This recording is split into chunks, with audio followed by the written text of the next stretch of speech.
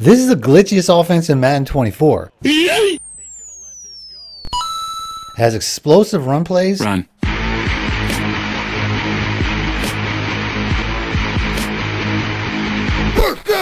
Unstoppable glitch routes all over the field.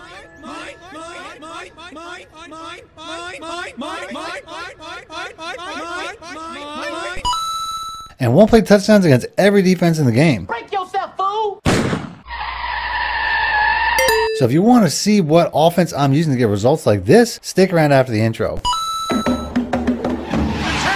For the fastest, cheapest, most reliable coins on the market, check out my coin sponsor, MMOEXP.com, and use discount code MONEYSHOT to get 5% off your order. Link in the description below.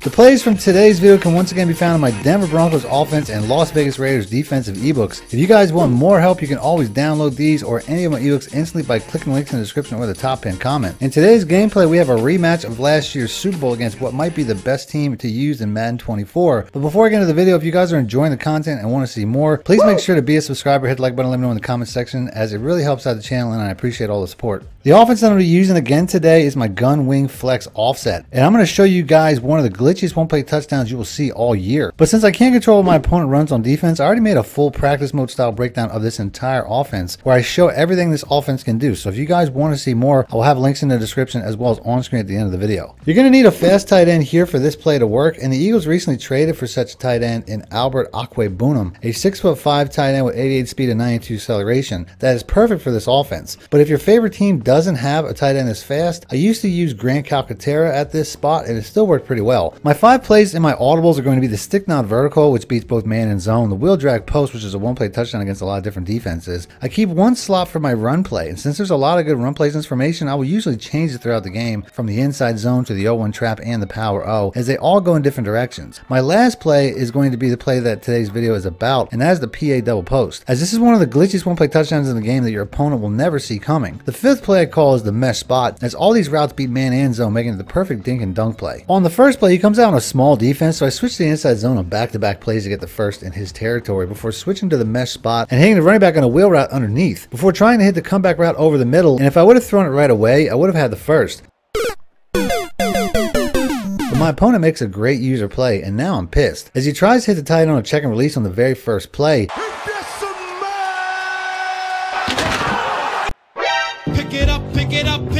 and we get the ball right back like nothing ever happened. My opponent has really been only running the same play all game so far in the cover 3 buzz, but I have the perfect play for that defense in the PA double post. The most important thing when it comes to setting up this play is that you need to be on the hash mark to the open side of the field, as this spot of the field will alter the defense's pre-snap alignment. You can't really see it here because my opponent's cover 3 starts out with both safeties back, but I know from experience of running this play that this safety will drop down and cover short, while this safety will drop back and cover the deep middle. And since I'm on the hash mark, the safety dropping back will always start cheating over to the two wide receiver side, and that is because the game is programmed in a way where the coverage doesn't respect the tight end speed. You can see this in the cornerback's pre-snap depths as well, as the cornerbacks on the receiver side are both starting at an 8 yard depth, which is normal for cover 3 since they have to drop back and cover deep, and don't want to let the receivers get behind them. But if you look at the other side, the cornerbacks start a few yards closer, as they probably think they're much faster than the tight ends and can't possibly get beat deep by them. The only problem is that the route that the B tight end is running will draw the coverage to the outside cornerback and pull him further away, which means that all I have to do is put this tight end on a streak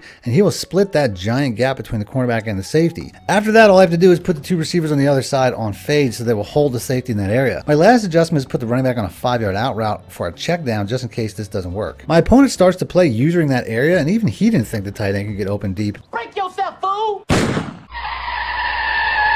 as I didn't lead far enough away from the safety and he catches me inside the five. But I score in a drag a few plays later and it was because this play got me into this position, making it responsible for my first score.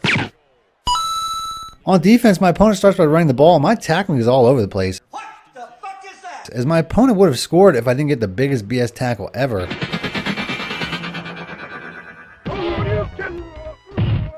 As he picks up the first to Travis Kelce on the next play before going right back to him on the sideline to get into the red zone. So since he is spreading out my 3-4 defense with multiple wide receivers, I'm going to switch to my big nickel over G scheme on the next play. And he decides to test my user early Oh no! Which is never a good idea. Back on offense, since he is shifting his line on every play, I decided to switch my run play and my audibles to the 0-1 trap, as this play can really go in either direction after the snap. On the next play, since I'm still in the hash mark and he is still in cover 3 since he doesn't run anything else so far, I'm going to set the exact same one play touchdown to the tight end. The only thing that gives me pause is that he's clearly using the safety over the tight end, so if he sees it early, I will have to take the check down instead. And he does react, but if he's even, he's leaving. Break could go all the way. On defense, we are still setting the house, and my opponent is clearly struggling with the new speed of this defense. He sticks to it though, and eventually dinks and dunks his way down the field, fighting for every yard until he gets into the red zone. But but things get tight down here as he just can't find the space to break the plane. Nope. And we force a critical fourth and three that he decides to go for. Back on offense, we just could take the air out of the ball and go to half with the lead, but I am recording this for a YouTube video, so of course I want to score again. That was a close one. But now he's backing everyone off, so I run the next two plays to get to fourth and inches. And with 24 seconds left and all my timeouts, I probably should have just punted it away. From here, our defense stands up though, you. as you can't score in a phone booth, and we shut him down on three straight plays as he decides to kick a field goal to break the shutout. He gets the ball to start the second half, but this defense gets more interceptions than any defense I'm using right now. Gotcha, bitch. As we get a huge interception and a return to start the next drive in field goal range already. I switch to the wheel post drag from here to work the cover three seam with a streak, You got moss. From here, I probably should have done the old tush push because I hurry him up instead and he pushes me back on the next two plays before I have to decide to take a field goal to get my two touchdown lead back. From here, I just can't do anything stupid to give up a quick score. No, God! No, God, please, no! No! No! Back on offense, he is now running cover four quarters, and my biggest issue from here on out is that I'm not really too familiar with my own cover four setups for this offense.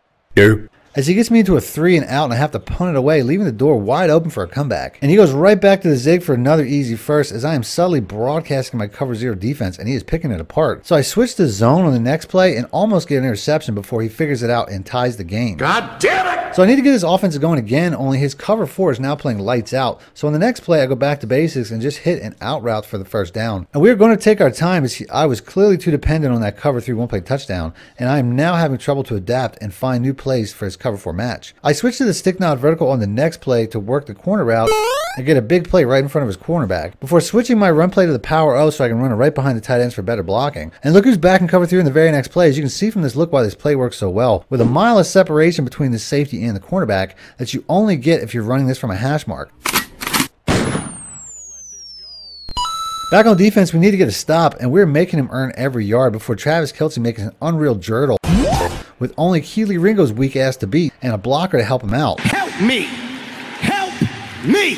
Damn it. to tie the game right back up. From here, I'm thinking field goal with no time left, so I start the drive by running the ball, but that cover four is still my kryptonite, as it is locking everything down. He gets me into a third and eight right away before I float the ball too much on the next play to throw an interception that could cost me the game in field goal territory. From here, I honestly just let him score, and you can tell that he wasn't even sure that was a good call as he rethinks it on the goal line before choosing to punch it in. Oh, good for you. as he could have guaranteed a victory by milking the clock and kicking a field goal as time expires. But at least I still have a shot with all my timeouts. From here, I start the drive by running the ball as he's still in a very small defense. I probably should have gotten tackled for a huge loss in the next play, but this is D'Andre Swift we're talking about here, baby. Pedal to the metal, then stop. League's second leading rusher and candidate for another big Madden ratings boost this week. He is running a lot of cover four regular, so on the next play, I try to set up a one play touchdown, but it's not there, so I take the check down instead, which is wide open for the first, before I throw a potentially game stealing interception.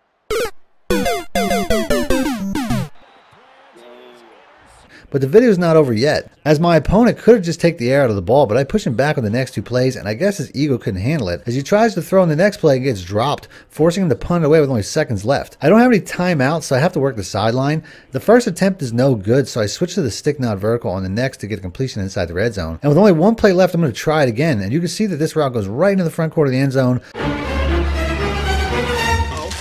you.